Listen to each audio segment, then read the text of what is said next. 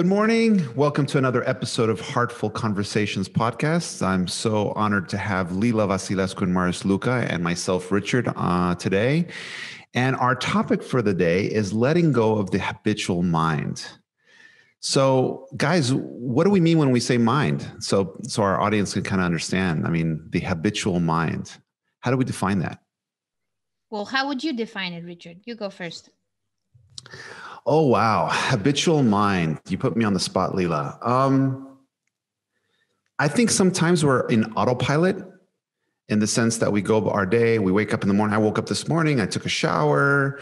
I got dressed. I got in the car. Went to work. And I think in so many ways we're in this autopilot where I'm in the shower and my mind is rambling on about it's having this dialogue it's having this narrative you know oh i got to do this today and oh i got to do that today. And and then you get in your car and you're driving and before you know it you arrive at at work and you don't know how you got there you know because i think we're lost in mind we're lost in thought. So when i think of mind i think for me personally it's just this this mind that is producing lots of thoughts and it's a commentary. It's a constant commentary. And there's beautiful commentary and there's negative commentary sometimes. And it's just it's rambling on. And um i think for me going on an a sort of an internal search for relieving some of my own anxieties and stresses and worries that i had uh, early on in my life um, it had a lot to do with this narrative in my mind because I think a lot of us, myself especially, I had a hard time early on slowing down that mind. Uh, you know, you stay up all night, and especially when things don't go the way you want them to go, or unpredictability comes up, like COVID, and your mind starts, you know, obsessing, and it gets exhausted, and it gets anxious, and it gets stressed, and so yeah, that's how I would define mind. And then um, it can um, also go joyful and happy. And, you know, um, I was recently uh, listening to another podcast, and um, this amazing um, guy that I really love, Michael Singer, was saying how, you know, when things do go right, um, even if for example you get a, a, phone call from your boss saying you've been fired if in that particular moment you're you know in love let's say right and you have um, everything is just so beautiful no matter what happens uh, outside you're still connected to that sort of joy and those happy thoughts. And no matter what type of news or not all type of news but you know what i mean um, you stay with those happy thoughts. And the way he was sort of um, explaining this was that we have this internal world that's so related to the external world, right? And we always relate to what's happening outside. But most of the times, what we really care about is this internal world. Um, just that for me, for many years, this internal world was mostly the mind. Like I thought that whatever I think, whatever pops in my head, whatever, like you call it, you know, this dialogue in our head you know. Uh, it's who i am you know. If i have these thoughts this is who i am. Uh, and um, it was um, pretty much what i saw around me as well. So um, everybody you know if i have these types of thoughts this is who i am. And so for me the mind has to do a lot with this accumulation of experiences in your life what you've gone through and they're kind of like those experiences stick to your head so to speak you know you have this idea about this and you have this belief about that. And they are there and they're solid. And if somebody tries to uh, change them you don't really like it. And that's where i started becoming a bit curious about the mind because i realized that well uh, why is it that every time you know somebody questions or challenges my own point of view or belief i don't really like it and the fact that i could uh, observe these thoughts in my head of oh my god i really don't like this and why is this guy saying that? And why is you know the fact that i could observe that chatter in my mind uh, and as i later on read and understood better is like if i can observe those thoughts then it must mean that i'm not those thoughts right? I'm not my mind but i can observe my mind. And you but know Lila, who's observing who when we talk about mind? Who's observing you, who? You because tell it, me, it, it becomes really complicated here. Oh man, it sounds like a psychedelic trip, man. We're going we're going far out here. What are you on, Marius? I know. It sounds like we're smoking something. It's it's a very intricate topic and psychology. This is how philosophy started. Uh, people trying to uh, give sense to what's it's going on inside because we have this amazing ability to perceive. We have this amazing ability to organize information. And i like the definition of, Dan, uh, of daniel siegel who's a neuroscientist and he said it's in his opinion from his understanding mind is um, a process of organizing the flow of information sensations thoughts going on inside or coming from outside. So basically, it's an organization process. It makes sense of what's going on with us. So all the more we should ask the question who's watching who and why do we need to let go of of uh, anything in our mind yeah i mean you know i listen to a lot of different podcasts and sometimes i think people are just philosophizing and this subject might sound very esoteric and abstract but for me, it comes down to real practical, real tangible issues here of life in the sense that, okay, well, why are we blabbering on about mind? Well, I noticed in my mind, in my mind that 90, 99% of my suffering was coming from my mind. And so at the end of the day, in my 20s, I needed to escape this prison that I had created. And so when we're seeing whose mind and who's watching your thoughts and everything, it's just what what what came very clear in my mind in my experience and and reading the different books and looking and searching was that it was astounding to realize that 99% of all suffering 99% of all difficulties and t- challenges come whether it's externally or internal conflict is coming from mind and so it's not just a philosophical journey we're taking because we want to just esoterically think about these things in, a, in an abstract way, but it's a real practical, important thing to look at the core of all of all suffering. Now you asked me, well, you said, Lila, well, let's look at the positive side of mind. Well, nobody has a problem with the positive side of mind. This is a wonderful tool it can it can send people to the moon. It can this mind can create a, the eiffel tower. This mind can see beautiful things and and and, and no, nobody minds the, the the positive side of mind. And and nobody would want to change that part of our mind. So it's not that mind doesn't has the i, I see as an ultimate potential unlimited potential. It can go in either direction. And so you can try to micromanage and fix the external things of things that are it's so um, transient and and so fickle that you can't you see that you're just playing with with quicksand. And so the ultimate place that you need to go to eventually in your life whether in the beginning it's you're going for the ferrari you're going for the expensive house you're going for the two and a half kids you're going for love you're going for marriage and you reach a point in your life where you realize you know this no matter how perfect I get it, it's not going to resolve this mind that I have that is obsessive sometimes and compulsive and challenging. And I need to free myself of, of mind.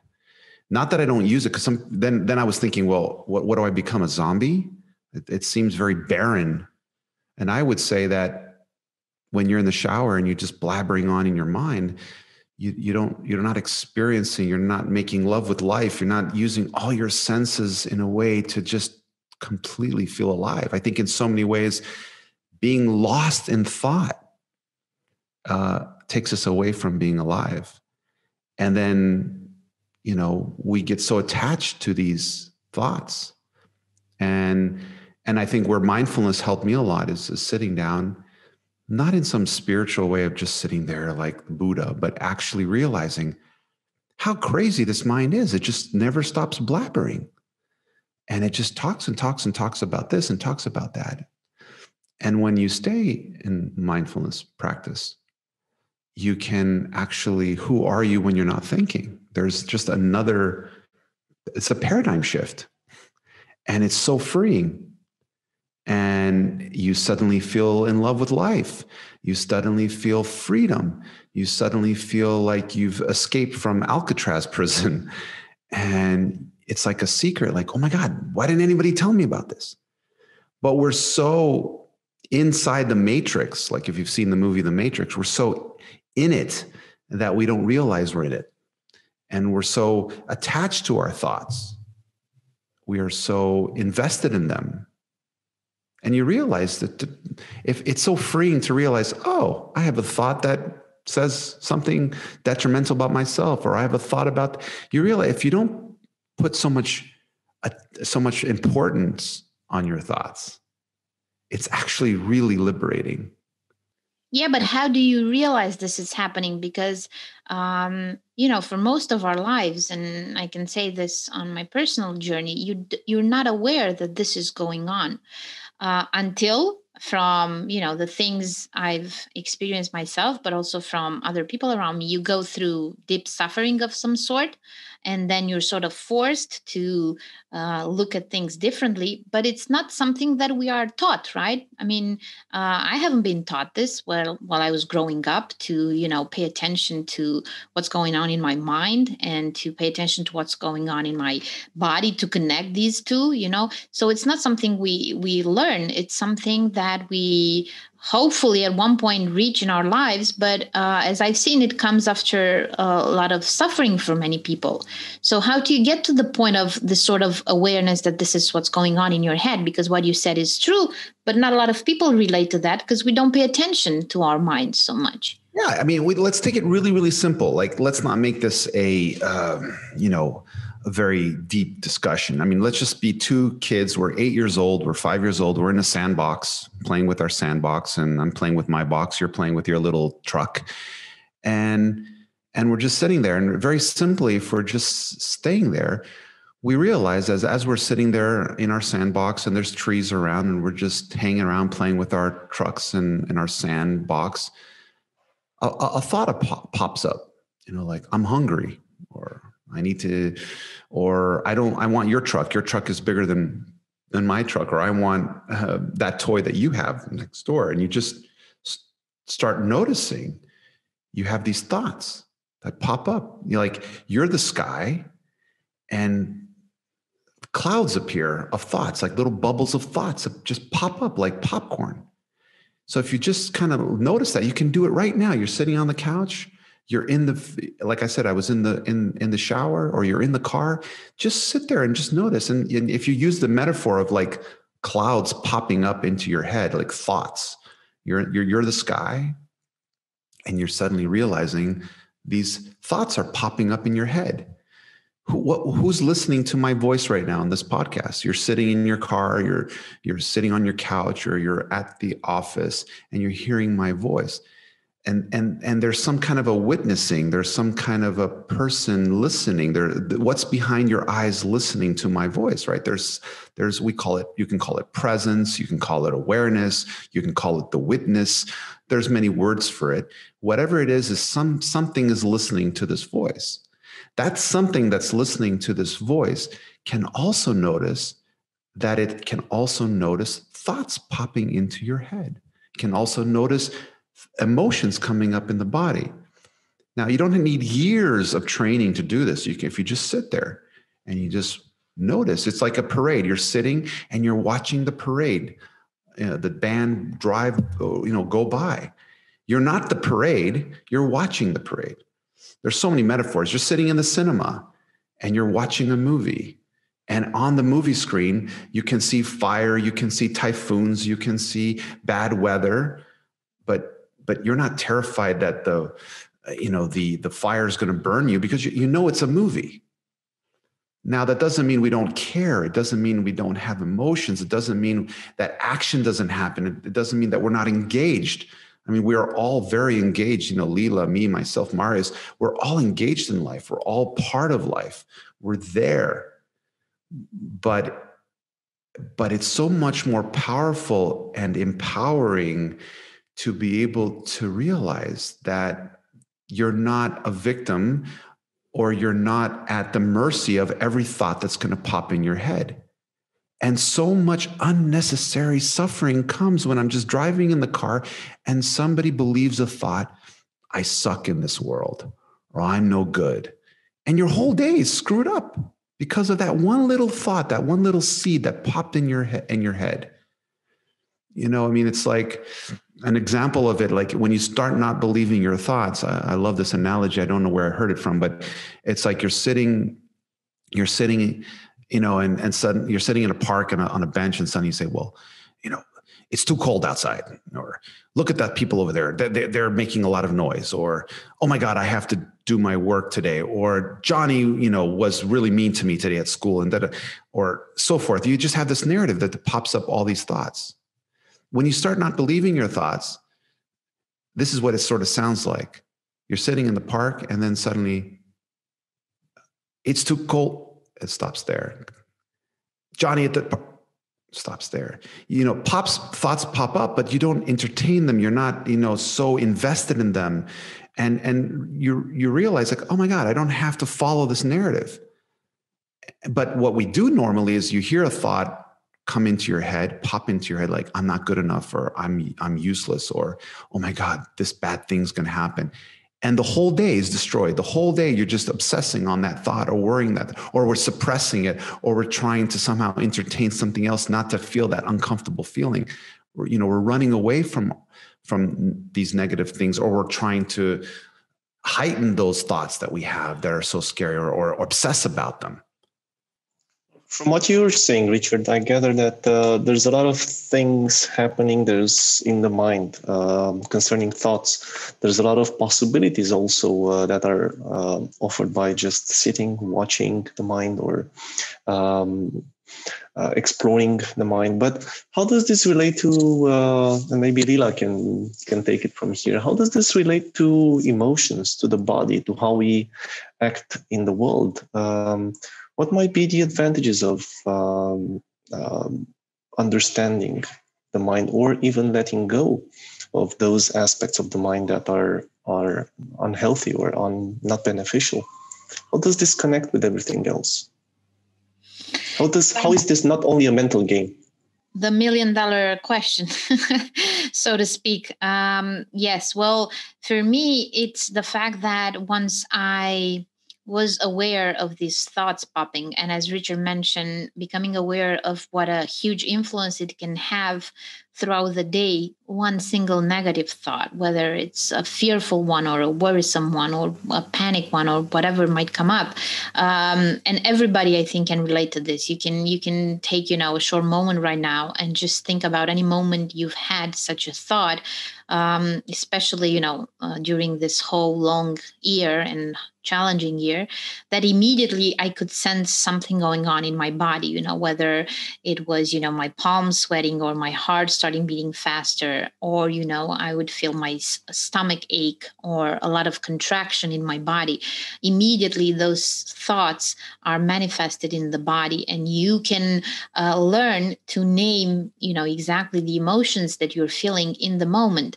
Um, if you have a practice with this. And the relation is that uh, you realize how interconnected everything is and how from that single thought that goes into that emotion and that expresses in the body if you don't pay attention to what's going on throughout the day you know in in a couple of days you get that headache you get that back ache you know that you don't know where it's coming from but actually through these practices you can stay more connected with yourself and learn how you know fear feels this way to me. Like i know that when i'm fearful you know the temperature of my body drops and i start you know um, maybe feeling my heartbeat going faster, or when it's more related to um, stress or anxiety, um, I feel warm. I feel, you know, in, in my chest. And uh, there's all sorts of sensations that you start to learn about yourself. And the beautiful thing that happens is that you kind of start to not feel so lost, as Richard said, and you start to feel like you gain some sort of control over your life. Because for me personally, this was the main motivator. It wasn't a, I have to admit, not a very deep suffering of some sort. There was a lot of curiosity about who I am, but also it was uh, this sort of a fear that if I am here, but I'm not really in charge of what's going on, if any type of emotion that can pop can just pull me, you know, in this or that direction, like this emotional roller coaster that I can't really control, you know, then how am I going to enjoy this life? And how am I really the one deciding that, you know, I want to have this experience or that one when I realize that most of the times I'm just pulled here and there and I can't really do anything about it. So a lot of my motivation was rated, I want to savor, you know, life. I want to you know taste it i want to dance it and i want to feel you know with all my senses because i felt so grateful that i am in this experience you know even when sometimes it would get tough. But still you know you want to be here you know you have a limited time. And so when i realized this is the way to do it so if i learn more about how i work as a system right? As i said earlier nobody really teaches us as we grow up you know you don't get the manual of how to deal with this type of emotion or the other one so when I realized that, you know, I can track these uh, sensations in my body, and I, I know that if I go that way and if I follow that thought, it can get pretty scary or I can feel this way. And so once I am aware of that, I can start looking for a solution. Like, you know, when you have a headache or a toothache, you go to the doctor, right? You, you start looking for something that could help you. Same thing with your emotions, right? You you realize what's going on and that you, you need some sort of help to go through that. And that is motivating enough to start to work with these tools and to realize oh so what happens is that when i get really upset if i go out for a walk it really helps me. You know and i, I remember this um, in the beginning of um, my relationship with my uh, husband he whenever we get into fights he was the one that would just you know he had to to walk away. You know he said you know i need to go and walk. And that used to upset me so much because i know we're staying here and we're dealing with this. And then uh, over years you know we realized that for me the way to deal with that was just stay there because whatever I was feeling, you know, uncomfortable even in my body, I needed the uh, his presence there to to soothe me. But for him, the way he could let go of that tension in his body was to move his body. And uh, working with kids in the last years, I realized the same thing for a lot of kids and people. It's like you you built up that tension in your body, and the way to release it is you need to move. But how do you get to that point? How do you learn that? Well, you go through this whole journey of working with your thoughts and with your emotions emotions and seeing the relationship. I understand lila and it makes a lot of sense but uh, everybody wants to be happy and it's and it's great to be able to uh, focus on happiness and joy and everything else but what if i don't want to relate to my uh, risky emotions? What if i because from what i understand from you whenever i bring attention to something i kind of amplify that i kind of bring that forth i kind of uh, invite even um, difficult or risky emotions, as we call them, uh, to come to the surface. But what if I don't want to get in touch with my sense of loss? What if I um, why would why, what if I rather ignore my fear of um, a great crowds of speech and everything else? So why would I why would I do this? Why would I bring specific uh, attention to all these emotions? So for example, I would I would rather avoid them. I would rather um, downplay them. I would rather um, ignore them. I would rather suppress them. Isn't this uh, easier than bringing them forth, looking at them, accepting them? This this seems like a, a difficult task. What do you think, Richard? I think it's an awesome question. I mean, you you're really laser like in that. I love that because it just for me, yeah, and, we do it. We do it. We run away from our problems. We we don't. It's a very counterintuitive instinct. Uh, I dealt with terror and fear. It was my greatest gift, my greatest blessing, and I wouldn't wish it on anyone because it was my greatest burden in my life. But it it liberated me. The terror. I mean, terror to the point where it shakes you and it, to your core. Right. I mean, terror un um, uh, instinctual terror, yeah, that you couldn't understand where it's coming from. And when you have that kind of terror where you're trembling to the point where your body is just trembling, you have no inclination to go towards the fire. I mean, your instinct, your body, your mind is screaming to run the other direction. But after years and years and years of avoidance, and after years and years of realizing that I'm only temporary fixing a short term resolution to my fear. I got exhausted to the point where, yes, I would find strategies to run away from it, to avoid it. And you might find some temporary relief, but at the end of the day, you realize I'm still trapped. I can't get rid of this. I just keep coming back to the same place over and over again. I'm exhausted. I can't, I don't want to do this anymore. You know, so you can avoid it and avoid it or run away from it or and and it's so counterintuitive to run towards the the fire, towards the burning lava because you you feel like when it's when you feel in threat, it's only natural. It's only natural when you feel in threat that you want to run away. Your body's screaming and, and wanting to protect you. And you you have every intention to, to sue that and, and run away. So it's very counterintuitive to go towards the fire. But if you realize that every time you try to avoid it, you will never find ultimate freedom. And for, for me, that terror is that I will never find resolution because there's so much vulnerability. In my view, it was fear. In in in in my view, there's always going to be something that's going to threaten me. My mind is always going to threaten me with something. And if I try to relieve it in one way, life is always going to present other threats, other fears. It's never going to end. You will never find resolution by saying, okay, if I do this, I'm going to be safe in life there's going to be something that's going to come along and just completely rock your world as covid has, ha- has done to us today so you realize very quickly that externally you won't find safety you know as as i'm not a very religious person but as jesus said i have no place to lay my head down. And it's a it's a very deep quote because it's basically saying that there's no place i can feel safe in this world. And there isn't. It's there's always these constant threats that are out there. And so you if you try mentally to cognitively find solutions and i'll do this and i'll do you realize very quickly that you you will never be 100% safe. That life is very unpredictable. That we are vulnerable so if we're going to get lost in years of strategizing of years of trying to fix the external things you realize you're going to spend a lot of years suffering and endlessly working with the puzzle that will never be fixed it's always temporary solutions. The only solution that came to me personally, and everyone has to take their own journey, there's everyone has their own journey to take, was when I realized that I don't have to fight my internal dialogue. That when these thoughts pop up, you invite them in like house guests. Hey, Mr. Fear, how you doing? Come on, have a coffee with me. Have a seat here. Instead of pushing them away, instead of running away from them, you uh, then no matter how threatening they are, you you you welcome them in.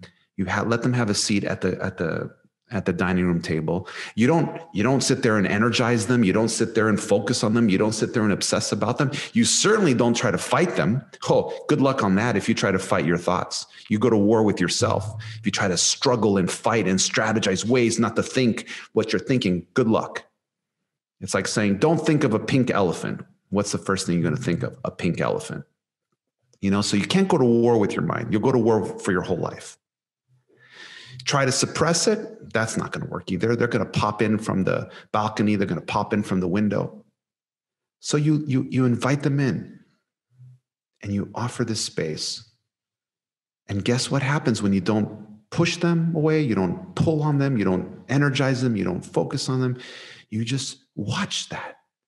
And and and and guess what happens? over time, if you don't energize them, they just float away like like like clouds in the sky. You, you you're letting them go. You're giving them space.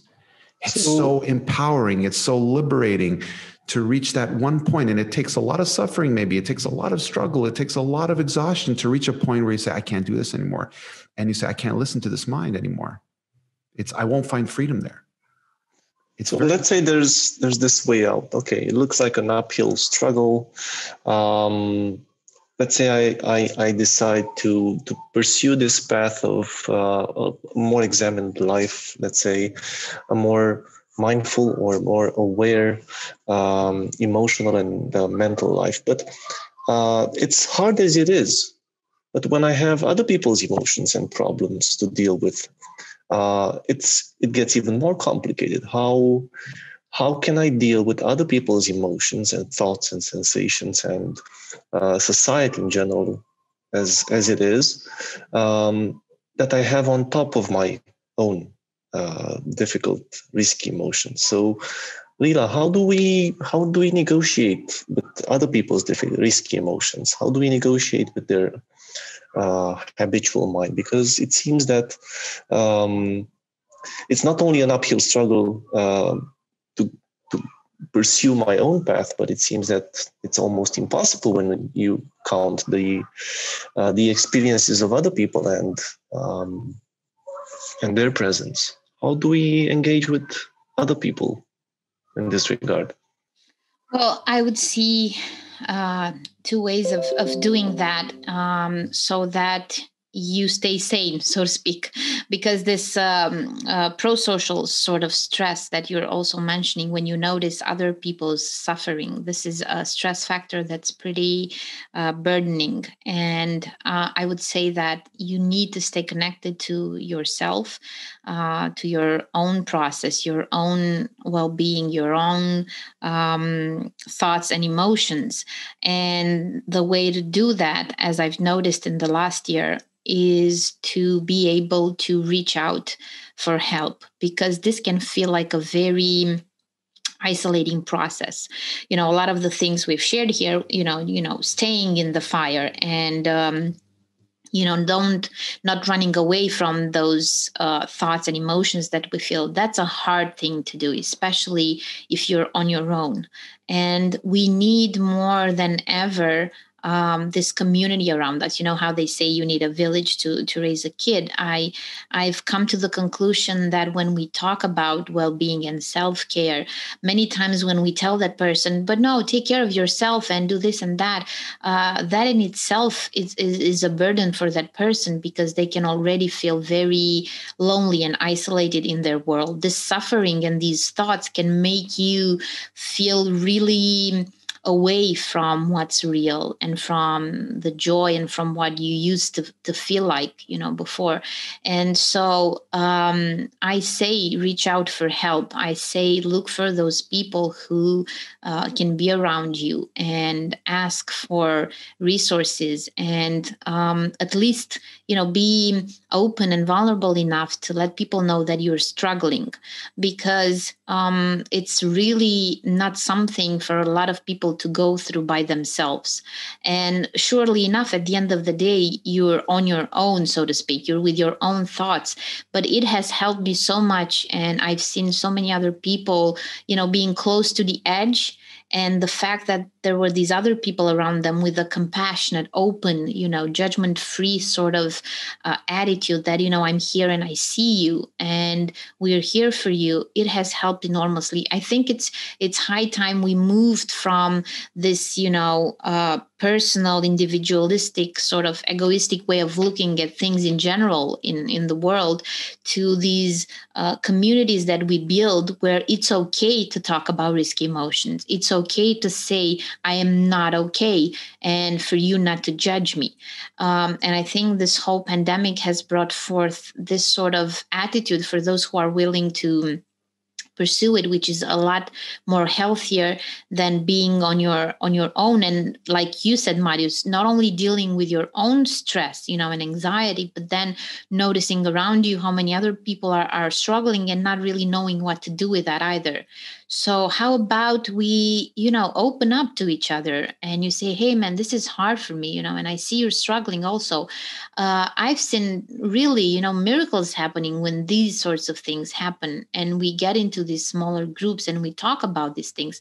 We have been brought up, and I can personally say, not to speak about our emotions, you know, this is something, you know, you're weak. Emotions, when just the word in itself for, for a lot of uh, years, and it still is in many ways for for different parts of society and people. Something that you know emotions it's something you know weak. It's something i don't have to show that you know i'm a man i'm i can toughen up all, all sorts of things. And not just for men for women the same.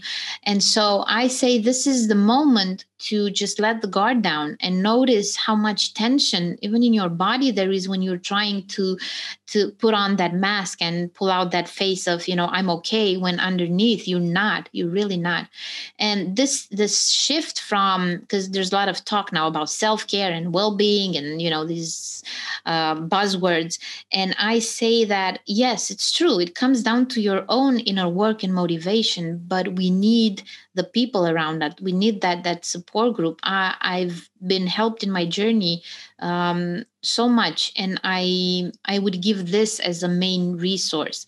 Don't sit there alone in this. It can be dangerous. Risky emotions that are kept there you know that they don't come to surface. They don't breathe. They don't they're not seen but some by someone. You may need specialized help. You might need therapy. You might need there's so many things out there now but you need to to open up and you need we need all of us even those who are you know maybe in a better place now or not to open our eyes and to look around us and to notice those small signs you know in the colleague at work who you know is not really opening up and staying shy and they look you know really sad most of the time looking at each other. Let's look at each other and see each other you know because we're not going to survive otherwise sorry for being a bit dramatic no, about beautiful. it. beautiful. It's beautiful because it, it, it, reminds me of, of coming back down to your heart.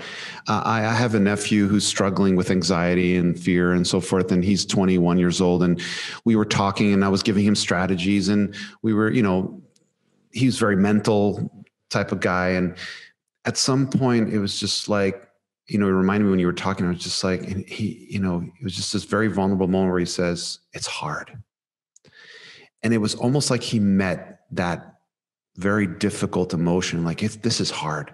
He wasn't trying to fix it. He wasn't he just looked at me with such vulnerability and with such connection and our hearts met and i gave him a hug and he just started crying. It was such a honest authentic moment and it cleared the skies. Like his his mind at that point was full, full of storms and raining and and you know clouds and so forth. And when he just said that word it's hard richard it's hard and he just broke down crying. That was beautiful. And you could say oh my god i feel so bad for him. He was crying. But actually the the crying and the saying it's hard. It almost like bursted the balloon and just like relieved all this pressure. And it, he he came down into his heart you know like we hold these emotions so tightly in our chest and in our stomach. And and he just met it in such a beautiful way. And it wasn't trying to fix it. It was just it's hard and and I'll never forget the look in his eyes when he looked at me and I looked at him in such an intimate place and we hugged and he started crying. It was just, it was beautiful. And then after that, from that space, there was a, a bit of a clearing.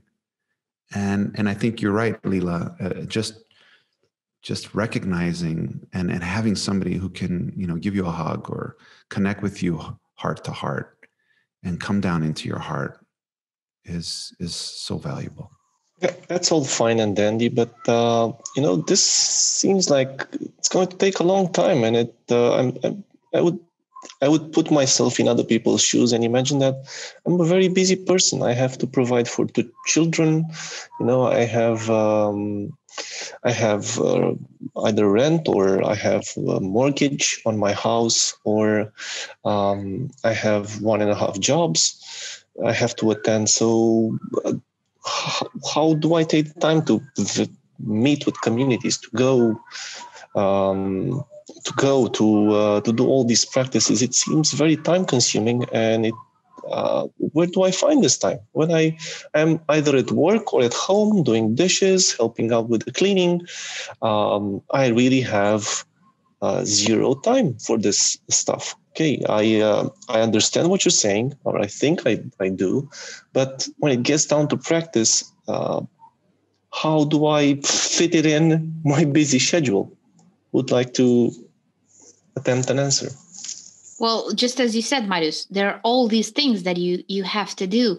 So how do you build up the energy and the focus uh, to do them right? You know, because taking care of your kids, going to work, doing the groceries, you know, cooking food, all of that, it takes a lot of your energy.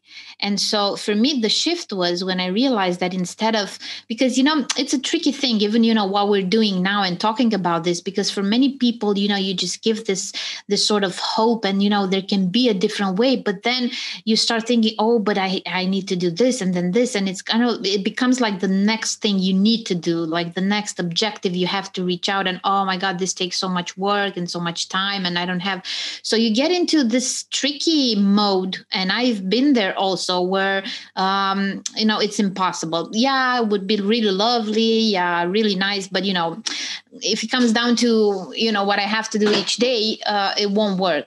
And so what happened was that you you go on like this yeah like richard also. You you keep going you know because you you find the resources or the motivation for a while but then if you're um, paying just a bit of attention to yourself and it can be one day when you know I remember I was in the park, you know, with um, with my son and who's playing with other kids, you know, and you get that glimpse of a moment because this is what we get many times, just glimpses, you know, of this. And I had this moment where I just realized, you know, that I for one minute I could just be with myself and I realized just how exhausted I was and how and how hard it was, like, you know, Richard also mentioned. And that moment of admitting to myself that this is not gonna work, you know, this is too much I, there's something needs to be done. And then realizing well i just had this one minute for myself and i realized this you know? I can take it's a matter of prioritizing at that point. It's where do i take these even two minutes throughout the day where I can just refill my batteries just a little bit, you know, with whatever works for me. Uh, it can be in the morning when I'm, anyways, doing taking a shower. It can be when I have my coffee, when I meet with a friend, or just taking from wherever I can, whatever I can. And I think it would be really nice if we have time today to also give some of these practical, you know, um, exercises and these practices that can be used and they don't take so much out of the day but they give you that you know at least some sort of connection with with yourself. And um the chatter of the mind will always be there telling you you know this is never going to work. It's the first thing the mind does. It's used to going it to having things done a certain way. You know, you wake up in the morning, you have the breakfast, you give the kids the breakfast, you hurry up to school, you get in the car, you get in the traffic. And, you know, the moment you try to do something different, and this is all neuroscience here, uh, it's, you know, the mind gets, you know, panicked. You know, what's going on? What are you doing? This is not what, what we normally do every day. You know, don't take your time now and go take a walk or, you know, take some time. This is not what we do. You know, we need to stay focused. We need to deliver what we have to do. And so it's hard in the beginning because because the negative bias is there and you know you have your neural pathways that already there and it's hard to to have new ways of doing things and to change habits and to change behaviors. But you can. This is the the amazing news. It's possible. So just knowing that can be so uplifting and it it, it takes a lot of gentleness with yourself and a lot of um, it's not going to happen in a week or two but i can do this every day and i can have a glimpse at it even a small one you know? And i'm i'm really hoping in time even through these podcasts we can offer more such resources that don't take a lot of time throughout the day but they can strengthen you know this this muscle of of being with ourselves and of allowing ourselves to be in this process um, with a lot more compassion towards ourselves and the others. Okay, so I understand it. It sounds you're playing the nice. devil today, Marius. You're you're. I I need to because you know uh, in the end it's uh, it's down to what we do every day, and it's down to uh, what who we are every day. So I would I would ask Richard this time. Okay, it's what what is all this observing, allowing, um, uh, not interacting, not judging, uh, accepting. In the end, what do I have to do to do all this? How do I how do I tackle this practically? What do I have to do to to be able to to have this process going on for me? That's a hard question. Um, I think it's a lot has to do with timing. Um, it's a leap of faith in some ways. I'm, I, I know I'm not giving people too much of a, I know people like the five steps to, but I, I, remember my teacher and I was very frustrated at some point and saying, you know, I, I've tried this and I've tried that and it just, it's not working. And I still have this terror and I still have this fear. And I've tried this methodology and I've tried these tactics and I've tried this strategy. and It's just not working. It's just not working. And, and he said to me, there will come a time, Richard. It might take one week. It might take one month it might take one year. There will come a time, and it takes faith, and it takes trust, and it takes grace when you will be ready to let go. When whatever your mind is threatening you with, it will no longer have an effect on you, that it will no longer take you as a hostage. So there will come a moment where all the searching you've been doing and all the running around and all the doing, a, a moment of faith, a moment of grace that you are let you're you're ready to let go. You're ready to realize that I, I have these thoughts, but I'm not my thoughts. I have these emotions, but this is not who I truly am. This is not who I where my where my heart lies. This is not where my love lies. This is not how I want to live.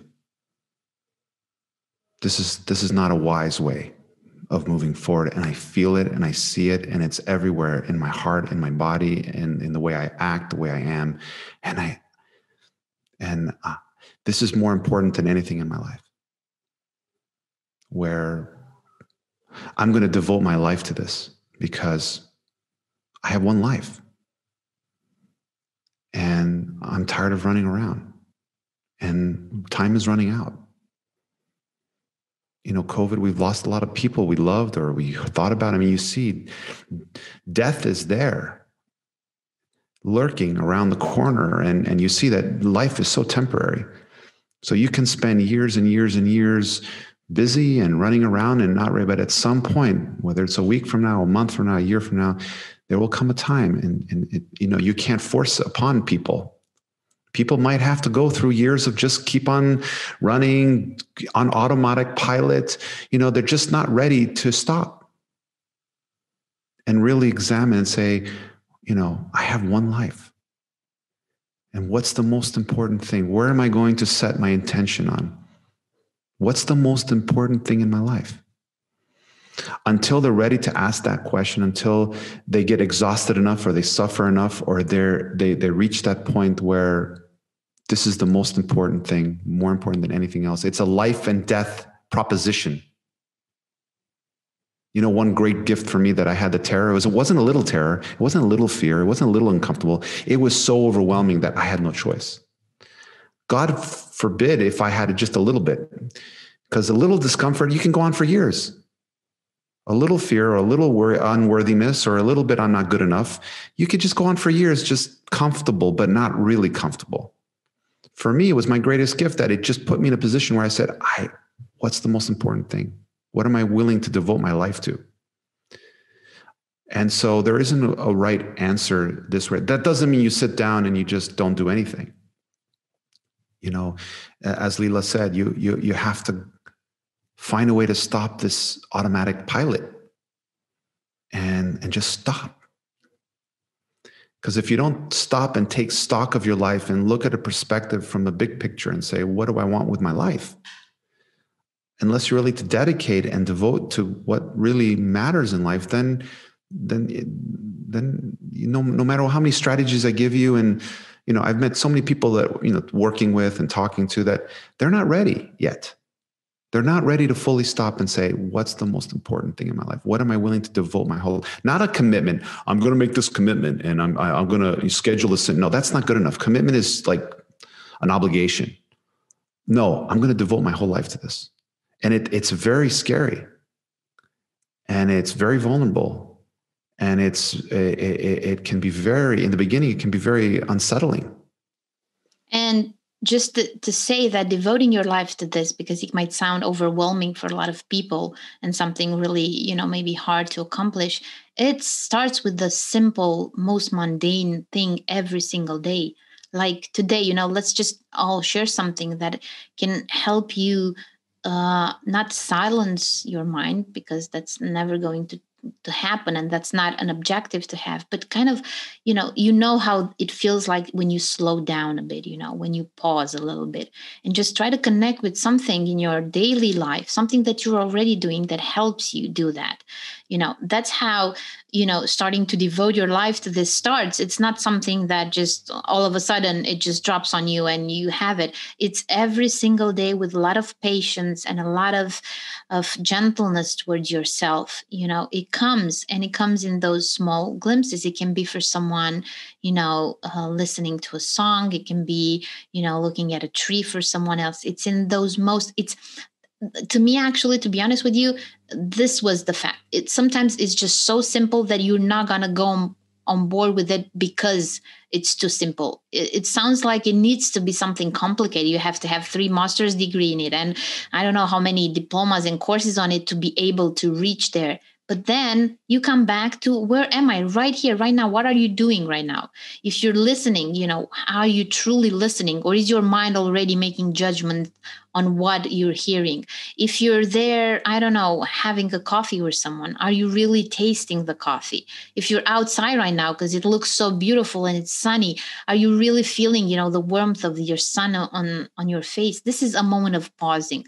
It's nothing, you know, it doesn't have to be so complicated. Of course, we can make it complicated and it can take years and I've been there, you know, having to no, it definitely needs to be more than this. I have to to read more, I have to practice more.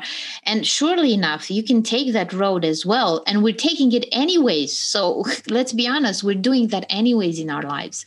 But how about, you know, pausing for a bit today and taking three minutes in your day today, you know, really putting your attention on something that you enjoy doing, something that makes you feel like, you know, you're alive right now, you're here and you've paused a little bit you know like you're just going slowly like to use an analogy instead of going through the city in your car in the traffic you know fast you're just deliberately going slower just looking at the people and putting your windows down and feeling the the wind in your face and all of that so uh, I would want to leave everyone with this, you know, just take it small and choose something that's really working for you. And we have a couple of minutes left. I would I would maybe um, wrap it up with a practice, that which I know you've uh, you you've prepared. But um, okay, let's say I I do all this and I'm I'm in a better place, but still the problems of the world are there: this inequity, discrimination, racism, pandemics. You know, like sometimes I feel powerless. Okay, how should I tackle this wider bigger problems. I, I really feel powerless in engaging with all this problem. I feel like I'm, I'm not contributing, contributing in any way. So, how should one engage with the wider world from this perspective? Uh, I would say, first of all, you know, like a like a like in an airplane, when it, the instruction manual says put oxygen first to yourself and then to your child. When the you know when there's or um, your heart beats blood to itself first before it beat it, it, it pumps blood to the rest of the body. So you know you have to take care of yourself first. And and then from that space great change can come. You know rather than I, I, I feel all this anxiety and fear about the world about myself and so i'm going to go out and try to fix it but you're going in with an energy of of lack and incompleteness and i got to fix it you know and I've seen a lot of people who are, you know, real trailblazers about changing global warming or we got to change and fix the inequities. But what they do is they get burned out and they get consumed by it and they get overwhelmed by it because it is overwhelming. And not everything can be fixed. But it's from a space where, you know, we're we're we're feeling complete, where we're feeling open, you know, and and I see like in the United States, you have these people who are you know criticizing and they're talking about global warming but they have such an energy aggressive energy you you you they're accusing other people how are you going to bring change when you're coming from a place of complete you know chaos within themselves and anger within themselves. You're not going to invite the other person to save the planet if you're accusing and pushing. And it doesn't mean that we don't take action. You know, it doesn't mean that we don't persevere and we try to find ways to solve problems. But it, it comes from a space where we're we're in a good we're in a good place. I, I think the best thing you can do is work on yourself and then from there naturally things are going to appear of how to fix things that are dear to your heart whether it's global warming whether it's working with kids whether it's fixing the educational system whatever might come about and uh, again it's where we're going to put our time and attention where are we going to devote ourselves to? Because many people talk all the time about i hate this and i don't like that and da, da, da, da, da, but and they and they they have good intentions. But then if you look at their actions during the day during the week and you say well where do i really put my time and attention? Not what i'm saying not what i'm complaining about. Where am i putting my time and attention? They realize that 99% of it is on other random things not on what really matters on what they're talking about. Everyone wants well-being. Everybody wants to feel joy in their life. Everybody wants to find their joy find their peace. But most of the time, we're spending 99% of our time doing other stuff. And that's where reality hits and you see whether you know you're living what you're saying is where am i putting my if i want to bring change where am i putting my time and attention where am i putting my devotion and your time and attention should be on cultivating the joy and the well-being and the openness whatever that might be every for everyone it looks different thank you Lila. thank you richard and thank you to our uh, listeners. I hope you benefit.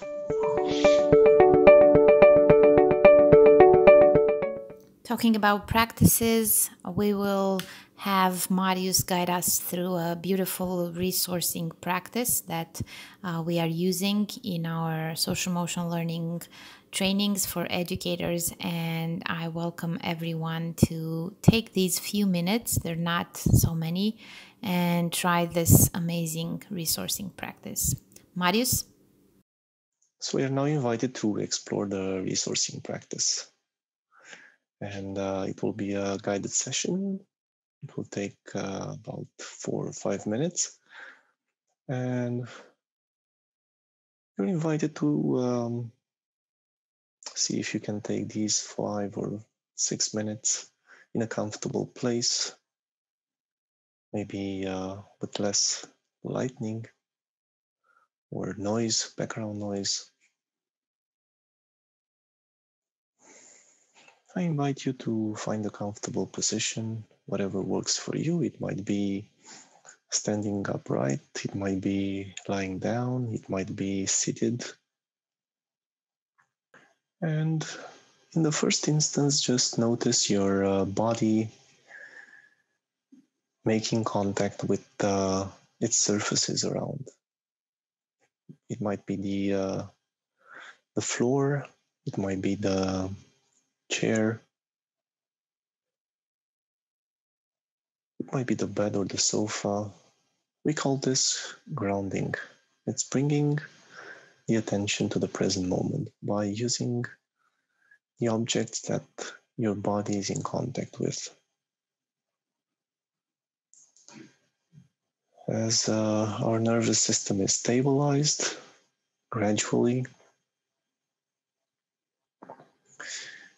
You may notice uh, your body getting more relaxed, at ease. Maybe your uh, in breath or out breath are deeper just getting into a sense of um, I take some time for myself. I deserve it. And as your body settles into uh, this comfortable position, as it lets go of uh, any tension, I invite you to bring an inner smile Um, you may imagine it as a smile near the heart. Notice if uh, your heart smiles right now. It might be even a smile on your face.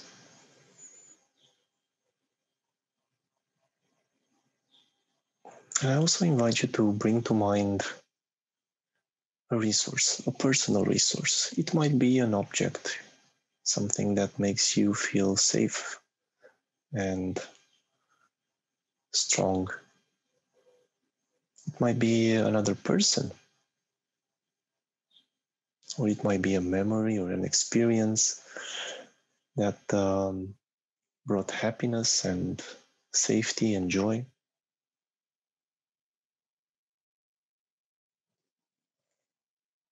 It can be imagined or real. It can be internal or external. Whatever this resource is for you, it should uh, bring about a sense of ease, safety, feeling secure, protected.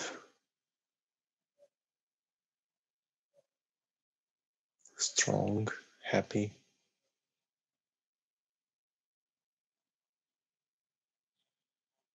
And I invite you to bring to mind this resource as vividly as possible with the tiniest details.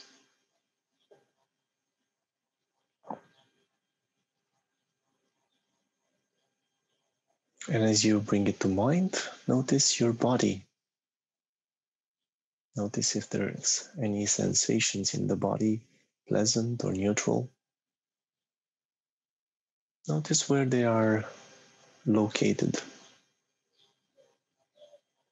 So notice if you feel good in the body, if there's any area in the body that feels relaxed, maybe feeling warm, tender,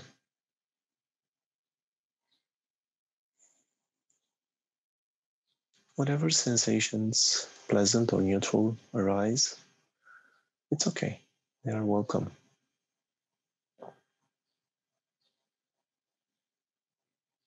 If there is any unpleasant sensations in the body,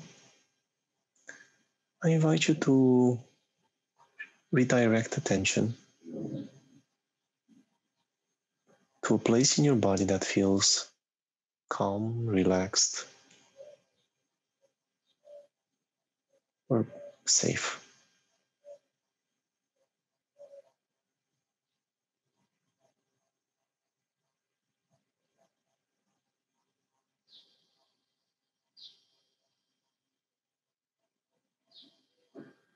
Bringing to mind that personal resource that gives us a sense of being calm, at home in the body, safe, secure, protected, strong, even, and noticing sensations in the body that feel pleasant or neutral. Allowing those sensations to take over your body, allow them to grow, allow them to spread, allow them to give you uh, energy, or whatever it is that you need right now to feel at home in the body, safe, secure, protected, and strong.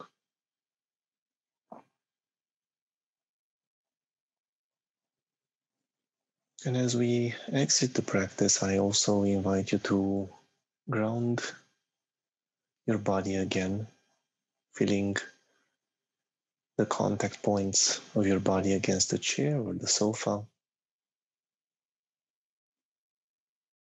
or your feet on the ground.